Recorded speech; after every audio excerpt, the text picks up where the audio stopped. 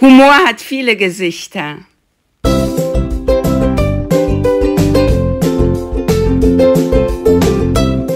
Humor kann verbinden, mit anderen lachen. Durch reflektierten Umgang mit eigenen Sonnen- und Schattenseiten erzeugst du Achtung und Heiterkeit. Dieser Humorstil spiegelt emotionale Stabilität. Humor kann stärken. Mit Humor nimmst du eine andere Perspektive ein und eröffnest Blickwinkel, ohne dich oder andere herabzusetzen. Du erzeugst emotionales Wohlbefinden, Optimismus und Wachstum. Humor kann entwerten.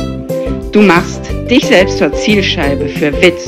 Du verleugnest eigene negative Gefühle mit dem unbewussten Ziel, dazuzugehören. Dieser Stil spiegelt Ängstlichkeit und Dysbalance. Humor kann herabsetzen.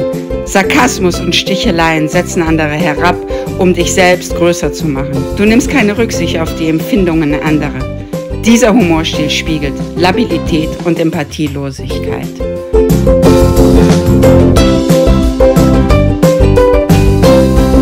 Welches Humorgesicht trägst du?